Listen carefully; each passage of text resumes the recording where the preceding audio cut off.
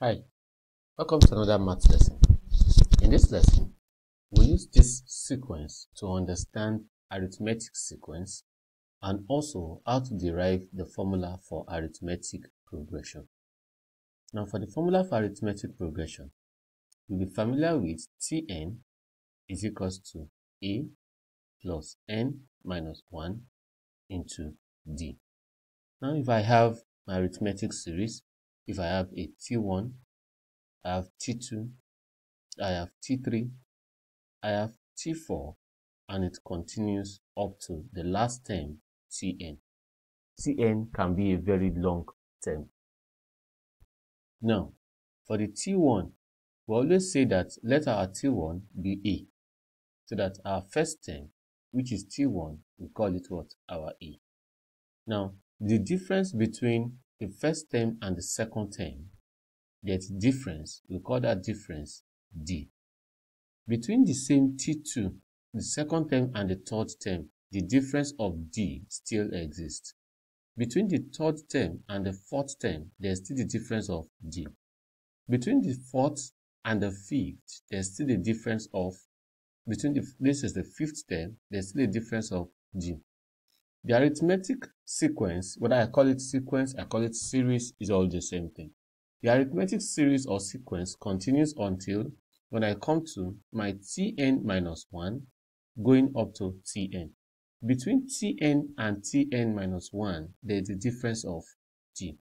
That implies that if my first term is A, my T1 is equals to A, my T2 which is my second term, will be the same thing as A plus D.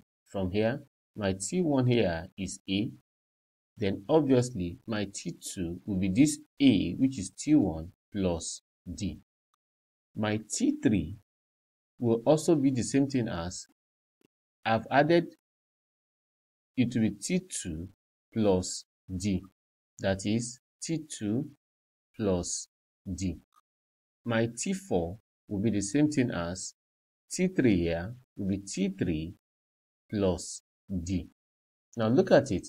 If my T1 is equals to A, my T2 is equals to A plus D, I can conclude that my T1 is equals to A, my T2 is equals to A plus D, my T3, which is the same thing as T2 plus D, in place of T2, I can now substitute the whole of this in place of T2. That is A plus D now plus D, which is the same thing as A plus 2D. My T4 for my T4 is the same thing as T3 plus D. That's the same thing as my T3, remember, is A plus 2D. My T3 now could be the same thing as, my T4 now could be the same thing as A plus 2d, I'm replacing a plus 2d in the position of t3 plus d. So that my t4 is the same thing as a plus 3d. Now I can continue this way up till tn. So that your tn, if you look at your tn, here, when I add t1 is equals to a. When I add t2 is equals to a plus d. If you look at this, I can say this is a plus 1d. When I add t3 is equals to a plus 2d. When I have t4 is the same thing as a plus 3d. Now the difference is when I had 1d, I add t2. My n here is 2. So when my n is 2, my the coefficient for d here is 1. When my n is 3, the coefficient for D is 2. When my n is 4, the coefficient for D is 3. Then I can conclude that when I have Tn for, any, for the nth term of this arithmetic series, I can have it as A plus n minus 1 into D. That is how we derive our formula for arithmetic progression, arithmetic series, or you call it an arithmetic sequence. Now let's apply it here so that from this series, it's obvious that our 7, our A is 7, my T2 is equals to 11. Our T3 is equals to 15. Our T4 is equals to 19. Now you observe that between, and it continues, you observe that between T1 and T2, the difference is, is 4. That means 11 minus 7, which is equals to, that's 4.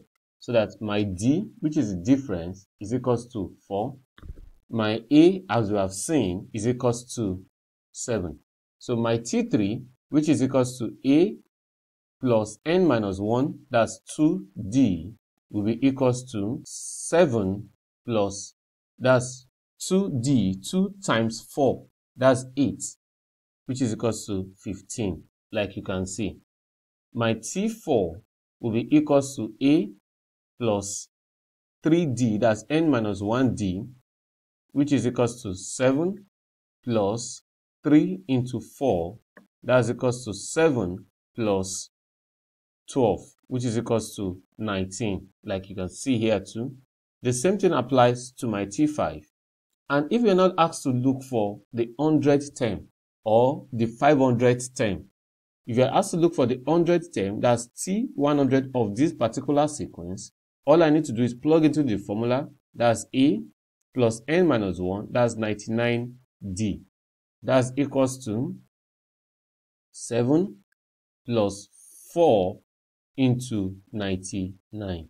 That's equals to 7 plus 99 times 4, that's 99 times 4, that's um, 36, this 6, 36 again becomes 39 plus 396. That's equals to 403.